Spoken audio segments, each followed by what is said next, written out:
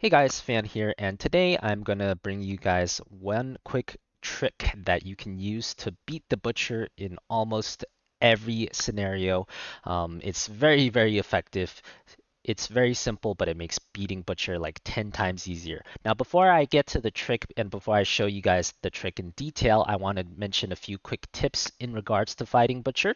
And I wanted to kind of explain the Butcher mechanics as far as I understood them from the Diablo betas.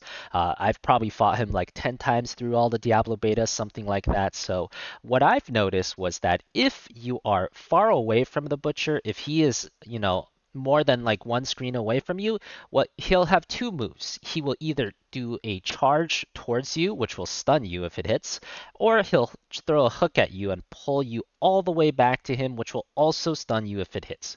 Next, if you're point blank right next to him, trading, let's say, melee auto attacks with him, uh, he will do a headbutt kind of animation, which will also stun you. So you don't really want to be either too far away from him or too close to him. Otherwise, he has moves that will stun you. Uh, so first of all, keep that in mind. The optimal distance would actually be keeping him somewhere on your screen so that he's just walking towards you, but not using any of these spells. Um, also, since he has so many stuns, you definitely want an unstoppable if possible, on your hero kit. Basically, every class gets access to one of these unstoppable talents, and you want to use it right as you get stunned so you can break out of the stun immediately. As you can see, I just did so right there with the Rogue Unstoppable Shadow Step on my Q. So you can see there I ran out of the screen. I got out of his screen and he immediately hooked me back. Um, and that's not what you want. And once again, I dashed out of the screen and he charged at me, which is also not what you want. Uh, what the, the proper distance would be something like this. This way, he's just walking at you, but he's not casting any abilities at you. So if you're going to run around the dungeon with Butcher in tow, try to keep the distance somewhere around this range. That should help you quite a bit in terms of uh, taking less damage against the Butcher.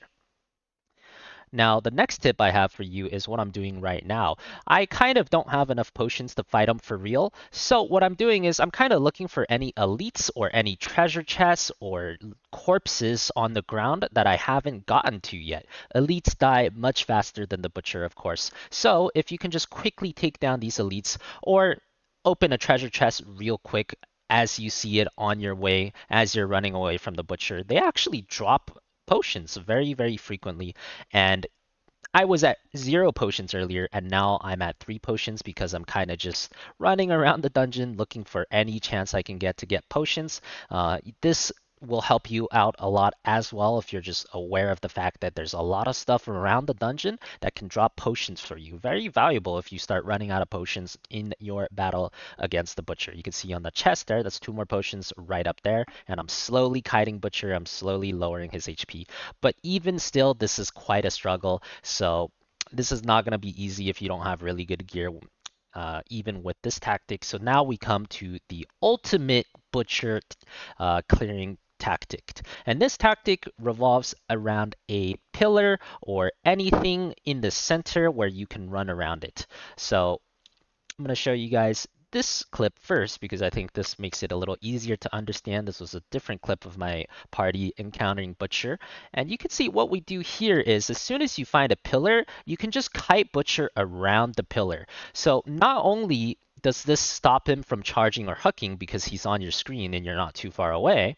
Uh, but his melee headbutt stun also will miss as long as you're moving. So as you can see in this clip, I have multiple party members. Whoever he's aggroed onto, you just run around the uh, the pillar, and it makes it so that his targeting gets a little messed up. He has to chase you, and you can just throw out any kind of ability you can while continuously kiting him around the uh, the pillar. And this makes him so much easier to take down. If you know this trick, anytime you you can just run around the dungeon, lead him around, find something where you can run in a circle and then just kite him around until he dies. It's much, much better this way. You take, I would say, probably like 90% less damage if you're kiting him around one of these pillars than if you're standing still and trying to man fight him. So it is a massive difference and it helps out a ton. And not only um, this this works even if you're by yourself. So you don't need other people like in this clip for this to work. Um, as you can see here, we did manage to take him down pretty easily by kiting him here. But in this clip, I also kite him around a pillar, so to speak, that I find right here. And this one is less of a pillar, it's more like there's just a big terrain in the middle where I can run around, right? But that's all you need. You can see here, simply by kiting him around, I'm not being stunned anymore, I'm not being auto-attacked. I can just hit him with my cooldowns and then keep running away and wait for my cooldowns to come back up before I hit him again and then run away again. And, um, you know, this way is much, much better in terms of actually trying to kill the butcher early on before you get really good gear. Um, it's going to be so much better so much simpler if you just do something like this.